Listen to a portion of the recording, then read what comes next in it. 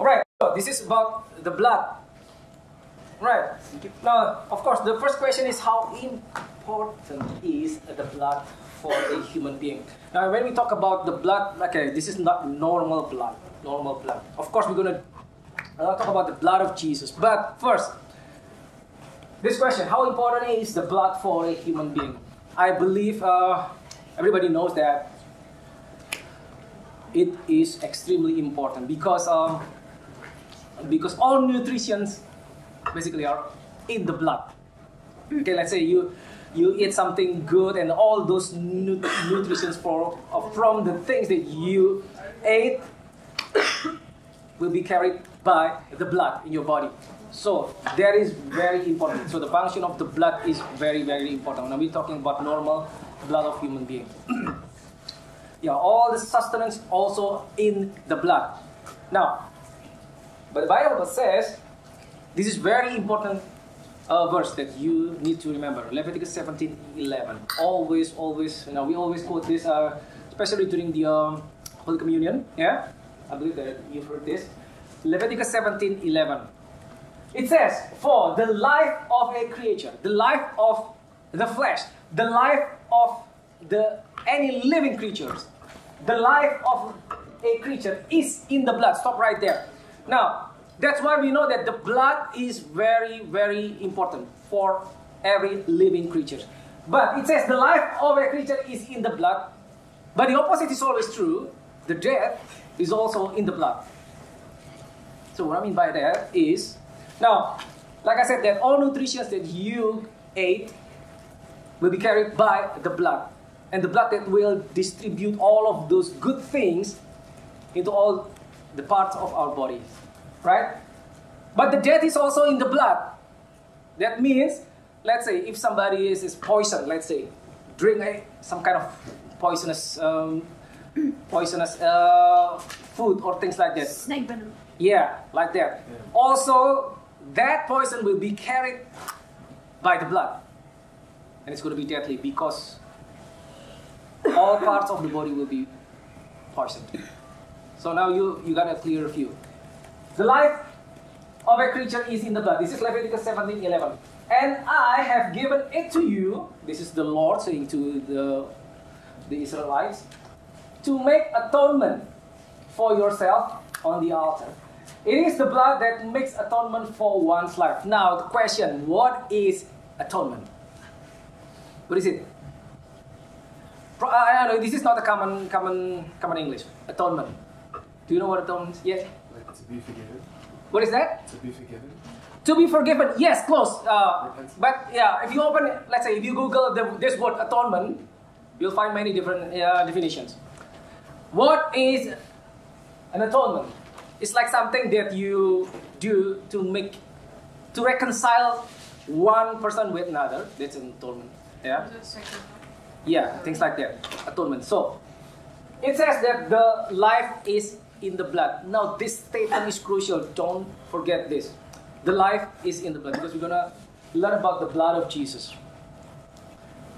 Yeah, that's why if you read your Bible, let's say in the book of uh, uh, Leviticus, yeah, mostly in the book of Levitic- Leviticus, you will find that even God Himself taught all the Israelites if they they're about to eat something like an animal, don't eat the blood of that animal. Why? Because if you eat the blood, you also eat everything that is bad that is in the blood of that animal, like poisons or, or sicknesses and diseases in that animal is also in the blood. So that that is very strict. There is very strict order in the Old Testament. You will find that God Himself told all the Israelites, if you eat an animal, don't eat that animal with the blood. So if you kill an animal, you have to hang it like upside down so that uh, the uh, it will the, the, the blood will just pour out and then it, let's say it is it, it will dry up by itself and then then you can eat the animal, but do not eat the animal with the blood. Okay. Now we know that the life of all creatures is in the blood. Now this is very important. Now, another verse, Hebrew Hebrews 9 22. Without shedding of the blood, there is no remission. There is no remission of sins. Or there is no forgiveness. This is New Testament. Without the shedding of the blood, there is no remission of sin. Now you know that I, I many times that I ask you a question like, okay, why did Jesus, why did Jesus have to die on the cross, and why did Jesus have to uh, shed his blood? Uh, you know that kind of questions. Yeah, must be familiar for for of you. Now we know why. Because without the shedding of the blood, there won't be remission or forgiveness. Now I'm going to bring you to a story in the Bible. This one to make you uh, understand the story, the importance of the blood. Yeah. Now this is about when Israel set free by the blood. Now, how many of you heard about this story? The ten plagues. How many of you know? Ten plagues. Okay. What is the last one? What is that? The, the first. Yes. The death of the firstborn. Firstborn. Now, this is this is what the death of the firstborn of any creatures, not only human being, animals and everything. Firstborn will be killed that night. That is the tenth plague. The tenth plague. And God delivered. Now I believe that you heard the story that all other nine plagues, all other nine plagues, yeah, they could not set the Israelites free. But the tenth one is different. Yeah. And that night, God told the children of Israel, all of the nation of Israel, to do this. What is that? To apply Blood where? on the per, on the Yes. doorpost. Doorpost. Lintel. Right? This is very important. Now, this is a picture of the uh, Passover. We talk about the, uh, the prophetic action about 100 years from then, then Jesus would shed his blood and apply to save all humanity. But this time, God said to all the children of Israel, This is what God said. Exodus 12 13. Now the blood shall be a sign for you on the houses where you are. And now look at this one. This is very important. And when I see the blood, this is what God said. When I see the blood, I will pass over you, and the plague shall not be on you to destroy you when I strike the land of Egypt. Because that night, all the firstborn of Egyptians, humans, men, women, animals, all the firstborns will be killed. And God says, when I see the blood, it's a sign. It's a sign. That means what? God didn't say, when I see your goodness. God didn't say, when I see your righteousness. When I see your obedience. No. Only the blood. There is a sign. So that's why God told you all the Israelites to do this. It's a sign at the doorpost. Now, this is a very powerful. Because when I see the blood, I will pass over you. That means the dead could not touch them if there is a blood. It's only the blood of animal in front of the door, doorpost and lintel. Yeah? But it's a sign. The door, the house, the whole household marked by the blood. Right? Now think about this. Let's say God was about to smite the land of Egypt. Right?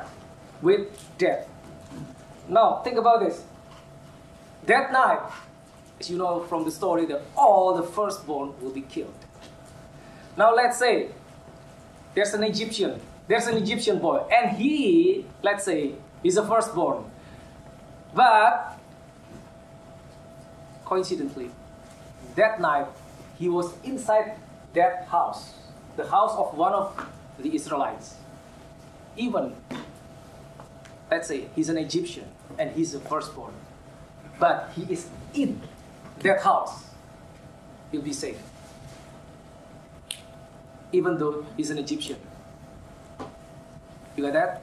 Why? Because the sign, the mark, when I see the blood. Now, now you can think that the power of the blood. And again, it's just the blood of an animal. The blood of an animal, lamb. Now you can read the whole story because we don't have time to read the whole story from Exodus 12. This is just amazing. Yeah, when God introduced the Passover, the Passover, that's why that's from the. I will pass over you. That means there will be no death in your house because I see the blood. But the opposite is also true. Even though there is an Israelite and he's the firstborn and he is outside the house at that night, he would be killed because he is outside the border of the blood. Right? You got that? Okay. Now, this is Exodus 12 13. Now, this is so powerful. The blood is so powerful. Now, we're going to learn in the New Testament. Right. But God Himself applied the blood. The question is where and when. It was God, God's own idea to apply the blood, the blood, as a sign, to mark His people with the blood. Now, let's take a look at this story. Genesis 3 7. Now, you know this story. The first man, Adam and Eve. Yeah, Adam and Eve. They fell into sin, and then what happened after that? This one. After the fall of man, after they fell into sin, they were hiding. Remember that? And then God asked them, Adam, where are you? I'm hiding. Yeah? He was hiding because I was afraid because of the sin. Look, then the eyes of both, that means Adam and Eve, the eyes of both of them were open, and they knew that they were naked. And they sewed fig leaves together and made themselves covering from fig leaves. The question Did it work? No. Why? Because there is no blood in The fig leaves. Right? Now think about this. First man fell into sin. To cover the sin, it takes the blood to cover the sin. And that man tried to help himself by covering himself with leaves. But it didn't work because there is no blood in leaves. Alright? Then what happened? This is what God did for Adam and Eve.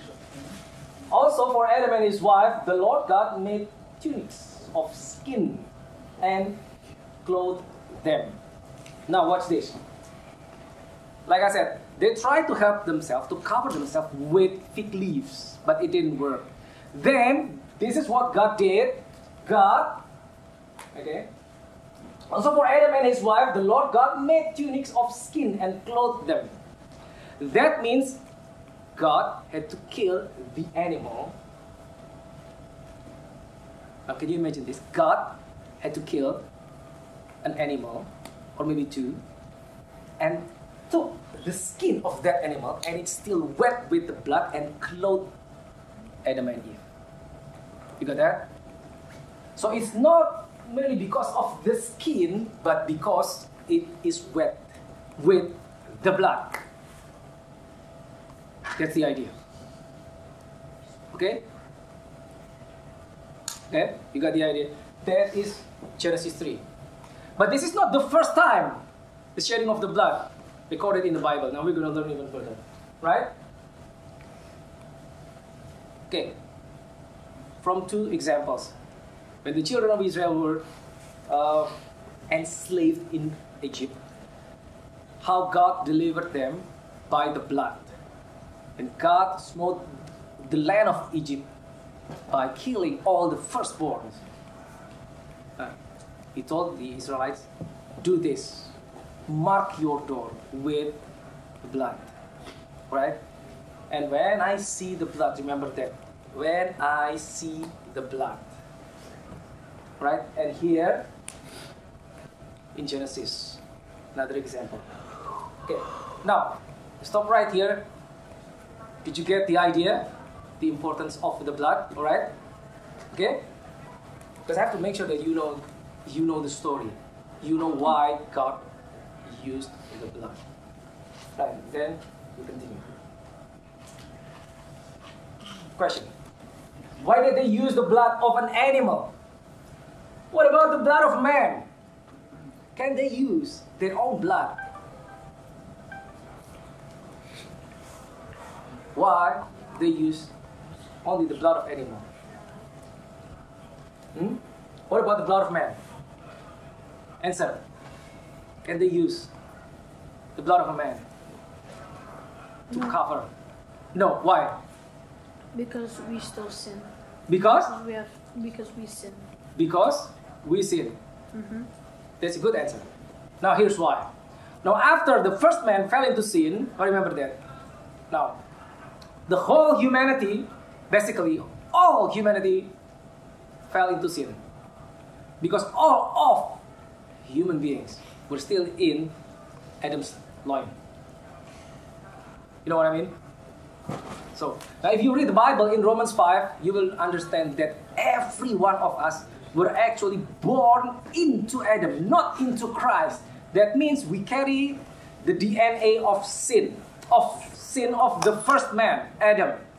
So that's why after the fall of man, even the blood of man is already contaminated or stained with sin. You got that? That's why to cover the sin, we cannot use blood that is already contaminated with sins. Right? You get this? You know? Alright? This is the idea. So, what about the blood of man? No, we cannot use the blood of man because it's already stained with sin. That's a good answer. Now, Revelation 13 8. All who dwell on the earth will worship him, whose names have not been written in the book of life of the Lamb, slain from the foundation of the. Now, when, when you read this, probably you will ask, okay, well, what is this all about? Now, the question is, okay, why did they use the blood of an animal? Because they cannot use the blood of a man. Okay, but why can they use the blood of animal? It's only animal. It's not even a human. It's not even the blood of the Lord. This is the answer. Because Jesus has been crucified before the foundation of the world. Now, this is this is deep now. Hopefully, you, can understand this. I pray the Holy Spirit that will open it to you. Because in the eyes of God the Father, Jesus has been crucified before the foundation of this world. So when they apply the blood of any kind of animal, what God the Father sees is the blood of His Son covering humanity. Let me try again. Look, in the eyes of God the Father, Jesus has been crucified before the foundation of the world, before everything started. So when they apply the applied the blood of an animal, in the eyes of God the Father, when God looked down, what God sees is actually not the blood of animal, but the blood of His Son, Jesus Christ. Right? It's a prophetic action, something that they did but the real one, the real substance, is yet to come. Right? I know it's deep. Okay? Do you know that? Do you understand that? It's okay. okay, carry on. Okay, why did Jesus have to shed his blood when he died? Now you know the answer. Alright? Now, there's a word defined transmission. Okay, let me explain this.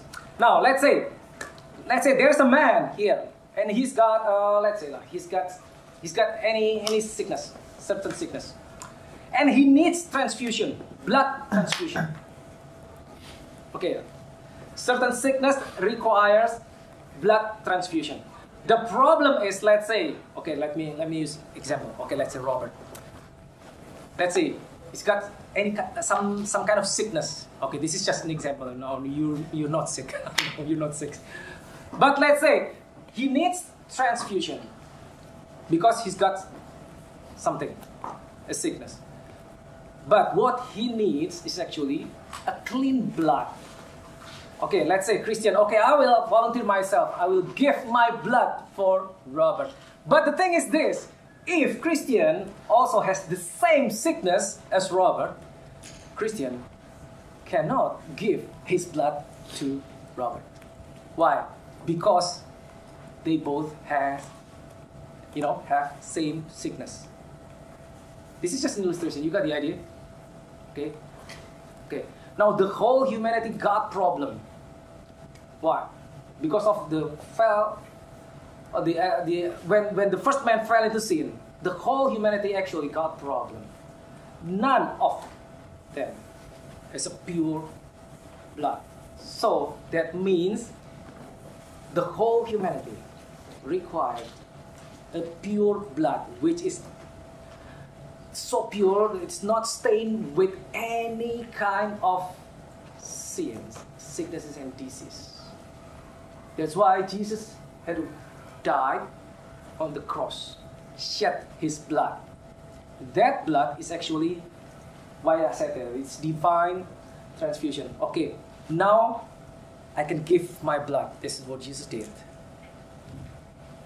Because this blood, Jesus' blood, is pure not stained, not contaminated with sins. Right? That's the idea. Okay? I know this is deep. Okay, next.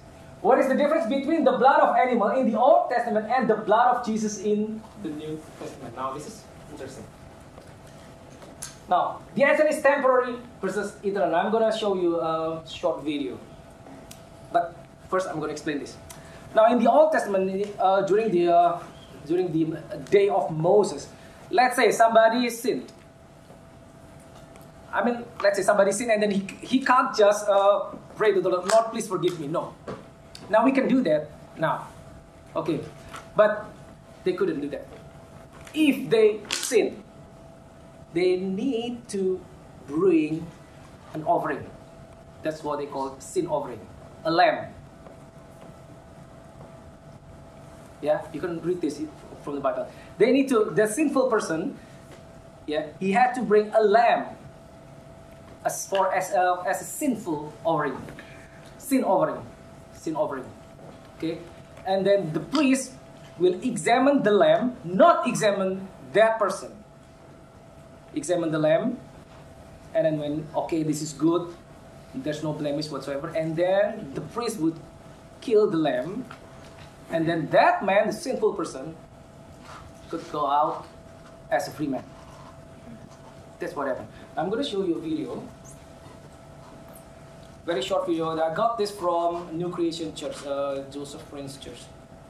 It's very short, uh, but it's it's a good one. So hopefully, okay, good. This is what happened in the Old Testament.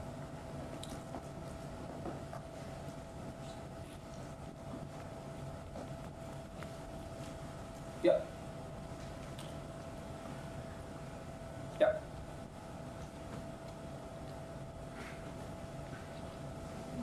Where's the picture? Oh, very good.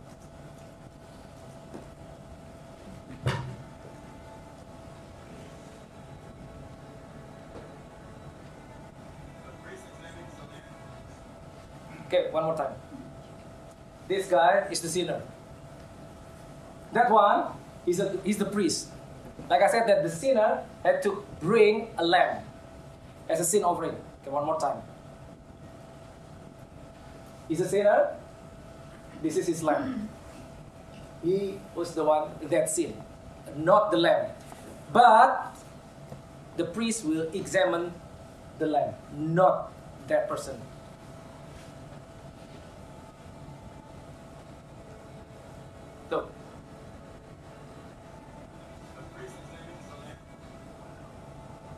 Looking for blemishes?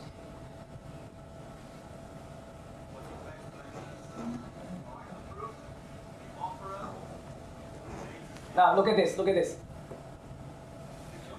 Now he would lay his hand on that lamb as a symbolic one. All his sin would be transferred into this innocent lamb, and all the righteousness of this lamb will be transferred into his body.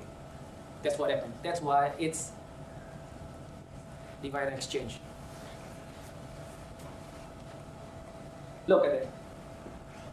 That's the sin.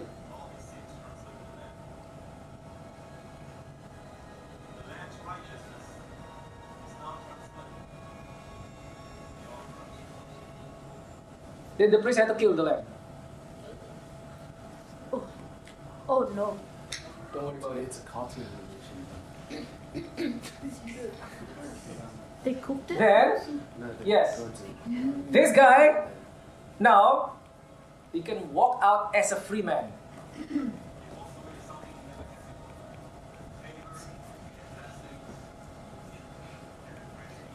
But, but, but,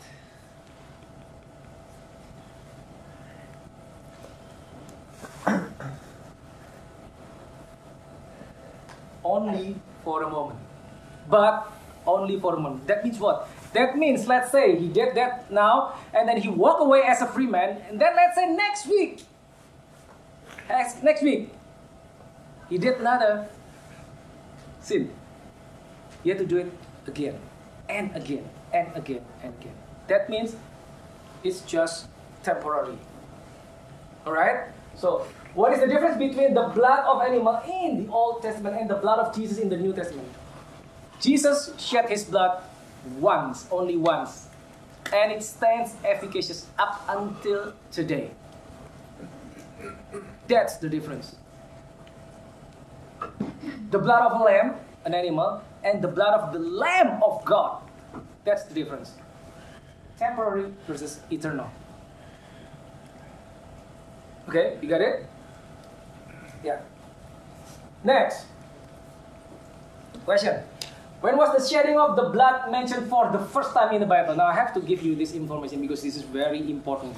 Like I said, that uh, in Genesis uh, chapter 3, now we just saw uh, the story when God clothed Adam and Eve after the first, uh, the first man fell into sin with the tunic made of skin. That means God had to kill the animal and then still wet with the blood and then God covered them. But that's not the first time. This is the first time.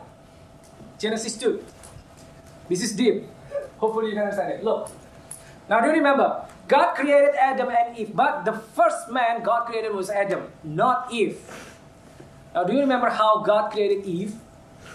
Genesis 2, 22 and 23. And the Lord God caused a deep sleep fall uh, the deep sleep to fall on Adam. Now this is prophetic. Deep sleep, that means it's a picture of death. Later on, another Adam had to die just to bear a quote unquote church or a woman. Now look. And he slept. And he slept. And he, took one of his ribs and closed up the flesh in its place. Then the which the Lord God had taken from that man, he made into a woman, and he brought her to the man. God had to open Adam's side to take one rib. Open means what? Bloodshed. That's the first time. Although the Bible did mention that, okay, God had to uh, operate like a thick knife and like surgery. No, no. But this is a picture. Now, every time you read your Bible and you see the word wo- a woman, it will always, always, it will always typify either Israel or the church. Church of the Lord and Israel, the nation of Israel, will always be pictured as a woman in the Bible. That's very important. So to born, to, to give birth to the first female, the first woman, God had to open Adam's side, took that rib. That is the first time in the Bible shedding of the blood mentioned. Okay. Oh, why, why am I telling you this? You'll understand later. Just hang on. Right. Look, the life in the blood can speak. Now, the how powerful the blood is. Even the blood can speak. Now look at this. Now first Genesis 4:10. Now do you know the first murder in the Bible? What is that? Yes, Cain and Abel. Cain, his brother, killed killed his brother Abel. Cain killed his brother Abel. But what happened next? Look. And he said, What have you done? This is the Lord God. Yeah, talking to Cain. What have you done, Cain? The voice of your brother's blood cries out. No, hang on, wait a minute. Abel had already died. He's dead. But the blood, the voice of your brother's blood cries out to me from the ground. Cries out for what? Vengeance. Vengeance. That blood was to take revenge. That blood. Now, uh, have you seen uh, like the TV series? What is it called? Uh, CSI, CSI investigation. You know what I mean? Yeah. No. In a crime scene, somebody was just murdered, and then they will trace the blood stain using some kind of uh, probably uh, ultra ultraviolet or something, just to trace the blood stain. Because the blood can tell them lots of things. Now, even this one, this is in the spirit. The blood, even of a dead man, cries out to the Lord. In this case, Abel, because he was murdered by his own brother, cried out for vengeance. But look at this. Hebrews 12 24. What happened? To Jesus, the mediator of the new covenant, and to the blood of sprinkling, that is the blood of Jesus Christ, that speaks better, speaks better things than uh, the blood of Abel. So the blood of Jesus also, the blood of Jesus also speaks out, but speaks better things than the blood of Abel. Remember, the blood of Abel cried out for vengeance, but the blood of Jesus, do you know what the blood of Jesus cried out for? Mercy. Mercy. That's it. Mercy. Isn't that amazing? That's why Jesus, when Jesus died, he had to shed his blood for mercy, mercy, mercy. Actually, I don't have to give this information to you. Do you know that on the way to Calvary, Jesus shed his blood on seven different spots, seven times. In the time of Moses, high priest, high priest will carry the blood, the blood of an animal, entering the holy place and into the most holy place in the tabernacle of Moses. Do you know the tabernacle of Moses? That's okay. Carrying blood of animal, the blood of animal. And that high priest, in front of the Ark of Covenant, he had to sprinkle seven times the Ark. There's a prophetic action. And then later, hundreds years from there, Jesus had to fulfill that prophetic action. That's why Jesus shed his blood seven times. Now, I don't want to go into details, but all of this, each, every one of them, each is really meaningful. Now, everybody knows this, of course, uh, like number four, five, six. Number three, four, five, six. Everybody knows that. When they crowned him with, you know, thorn, it's bleeding, right? Okay, he, Jesus shed his blood. Everybody knows it. And when they lashed his back, torn apart. Everybody knows that. When they nailed his hands, everybody knows that. Nailed his feet. But remember, number seven, look at this, number seven. When they pierced his side, It's water. the only, look at number seven, they did this when Jesus already died. Jesus already died on the cross. Then, after he died on the cross, one of the soldiers took the uh, his spear and pierced his side. This one, number seven, done after he died. Why? Now remember, the first mention in the Bible, like I said, when the blood shed, when Adam fell into deep sleep. Deep sleep always talk about death. God grabbed And God opened his side, Adam's side, so that he can create a woman. Woman always, woman is always a picture of what? Either Israel or the church. Now, to give birth to the church, Jesus had to do the same thing on the cross. When he was quote unquote sleep. He was asleep. That means what? After his death. That's why number seven, they did it after Jesus died on the cross. Number one to six, they did it when Jesus was alive, but not number seven. As a fulfillment of the prophet, prophetic mentioned in Genesis to give birth to his church, woman. Okay? Now, every single one of them has a deep meaning.